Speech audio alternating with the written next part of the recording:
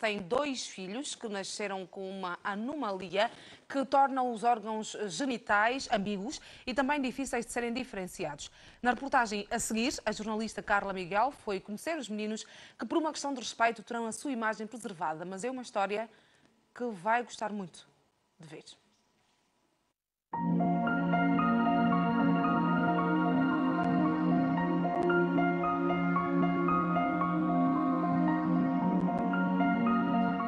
Uma família desfeita em lágrimas, que guarda entre paredes o medo, o preconceito, o desespero. Para preservar a identidade, decidimos alterar os nomes dos protagonistas da reportagem. Queremos conhecer a pequena Maria, escondida numa localidade distante. Estamos na localidade do Luiovo, a pelo menos 22 quilômetros da cidade do Lubango. Aqui mora uma mãe de sete filhos, abandonada pelo marido, totalmente isolada do mundo, mas que precisa de ajuda. Fomos recebidos pela Carolina, que nos convidou rapidamente a entrar para dispersar a atenção dos vizinhos curiosos. A casa humilde foi arrendada por 2 mil kwanzas mês. A mãe fugiu da discriminação, já que Maria nasceu sem um órgão genital definido. Maria, de 11 anos, aparenta ter dois sexos, mas o masculino parece estar melhor desenvolvido. E quando pergunto o que ela é, a resposta é rápida. Quero ser menina como a minha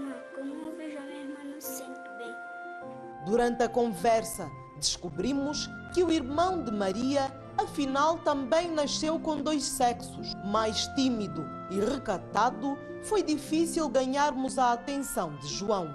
O menino de 13 anos, que já não quer ir à escola, não tem amigos e prefere ficar trancado em casa, tornou-se agressivo para sua própria defesa. A assim, você tem mama, você tem mama, você tem mama. João diz-se ser rapaz, mas já tem seios e começou a menstruar.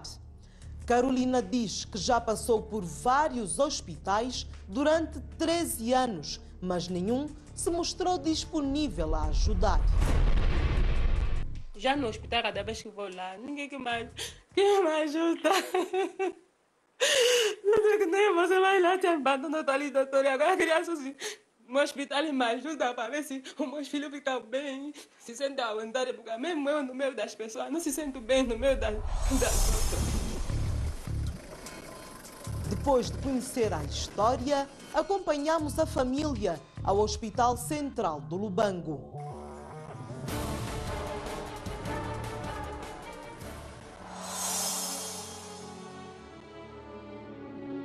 O endocrinologista disse que o caso deve ser bem estudado para um posterior diagnóstico que possa definir o tipo de tratamento a ser executado.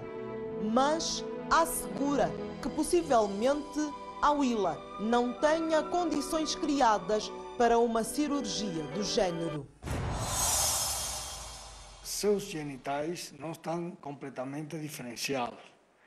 Né? No Momento, desde o mesmo momento que nasce, já a vezes tem se- problemas muito sérios, porque a vezes esses transtornos da diferenciação sexual, eh, o mesmo médico que assiste o parto dá conta, porque a vezes são defeitos que incluem um hormônio que chama-se corte.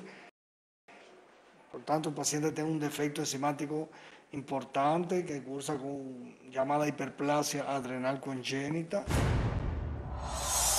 Pelas ações da mãe de sete filhos, percebemos que Carolina está grávida de novo. O doutor adverte e diz ser necessário que seja feito o chamado aconselhamento genético e uma série de exames para que o distúrbio não volte a acontecer. Os meninos já começaram a ter um acompanhamento com o psicólogo, por enquanto, a mãe quer ajuda de quem estiver a assistir no sentido de prestar algum tipo de assistência. Uma história muito forte de pessoas que precisam de ajuda para resolver este problema que lhes está a condicionar e muito a vida.